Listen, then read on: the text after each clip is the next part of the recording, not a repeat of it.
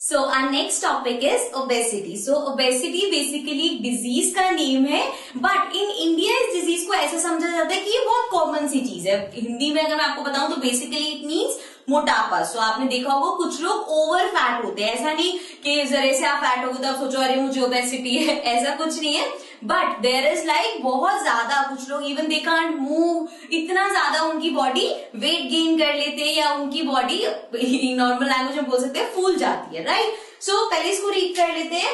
Obesity is a medical condition that result from excess intake of fat rich food so obesity जब आप ऐसा food खाते हो, बार बार बार बार बार बार, जिसमें फैट बहुत ज़्यादा जैसे आपने सुना होगा कि बहुत बार ऐसा कहा जाता है, बाहर का इतना जंक फ़ूड मत खाओ, मोटे हो जाओगे, है ना? ऐसा तो नहीं कहा जाता कि दो रोटी नहीं, चार रोटी मत खाओ, मोटे हो जाओगे।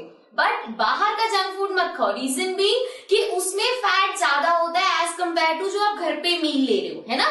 Now the excess fat gets accumulated to such extent that it starts negatively affecting one's health तो हमें पता था, पता है मतलब चैप्टर में पढ़ा है कि फैट क्या होता है? हमारी स्टोर्ड एनर्जी होती है। लेकिन it gets accumulated to such extent that it start negatively affecting लेकिन जब वो इतनी ज़्यादा एक्सेस में स्टोर हो गया कि अब वो सिर्फ़ एनर्जी का सोर्स नहीं रहा, अब वो हमारी बॉडी को नेगेटिवली इफ़ेक्ट करना स्टार्ट कर देता है।